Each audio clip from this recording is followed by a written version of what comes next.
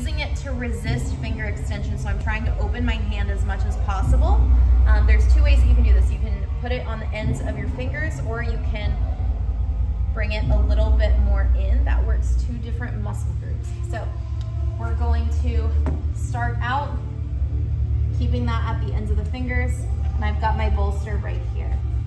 We're gonna maintain that open hand against the resistance, and I'm pressing up into the wall, and then coming all the way back down.